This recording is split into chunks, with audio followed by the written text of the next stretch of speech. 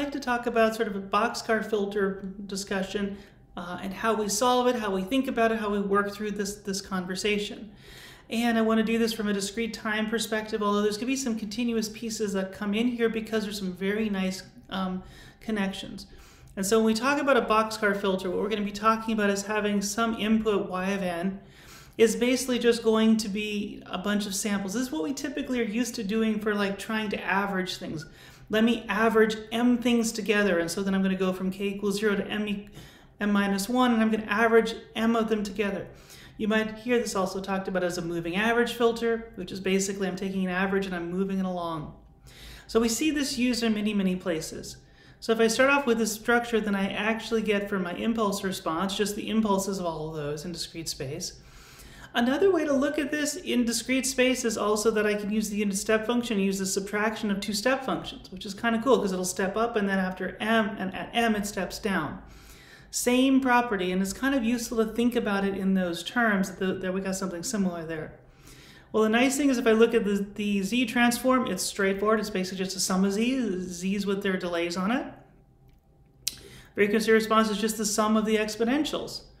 And so as a result, this was really useful. And you're like, okay, that's great. But there's one step further that actually makes it a little bit more interesting. And you might remember sort of an interesting identity that says, hey, if I have a sum of terms to a given power, and if I look at that, I can actually write the expression, assuming the series converges, I can write an expression of 1 minus a to the m terms over 1 minus a, and you think, hmm, this is quite useful here. Because it both gives me an h of z, an h of j, and an h of, a, of frequency, and h of omega that are quite reasonable to work with. Well, the h of z is quite interesting, and I'm going to come back to that in a moment. The h of omega I can start from these two exponentials with a little bit of math in here pulling out part of the part of the terms. What I end up finding is, is I get an e to the j omega m minus 1 over 2, and then I get a sine, uh, I get a sine over sine, sort of a sinc function.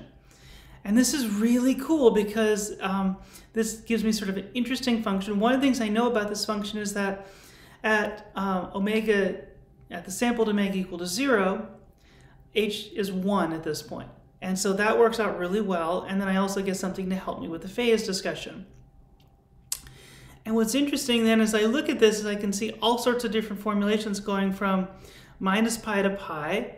Uh, I certainly get some interesting peak lobes here and peak lobes here. But I also get zeros. One, two, three, four, five, six, seven zeros. Um, plus pi and minus pi are the same, right? Even though you can see them. And notice that I actually can actually look at this h of z and go, wait a minute, I can get, you know, m roots for the top here, which is then, in this case, I'm going to pick 8, because m was 8 in this case, and that actually gives me nice 8 of them around the circle. Now, technically, the one that's at uh, z equals 1 is not a 0 because I've got, actually got something in the denominator that I divided by. So that's not quite there, which is why in the end I got 7 zeros um, and that's where this expression goes to zero. You also know that it's very much passing through things that are not changing quickly, so sample frequency of zero looks quite flat, and then it goes down from there. And, but we definitely get zeros, and then it sort of pops up before I get to um, basically to pi or reflected in minus pi. And so this is a really valuable function and an interesting way to start thinking about the frequency responses and what I can use with it. There's also some interesting related functions to this, right? Because when you realize I've got u to the n minus u to the n mi minus m, just like we were showing before, I get a really, you know, I get very, very interesting expressions, which is basically just summarizing this. Well, here's an interesting thought. What, what if m goes to infinity? Well, now that's just the response for u, u to the n, which is a nice way to get this. And what you find is for h of z is 1 over 1 minus z minus 1 the frequency response is 1 minus 1 minus e to the j, j omega hat, which is for small omega really 1 over j omega hat, which is interesting because it kind of is something related to an integral. And for those who are familiar with Laplace transforms or Fourier transforms, you realize, okay, there I get a 1 over s or 1 over j omega. So I'm getting exactly the same behavior in terms of sort of an integral.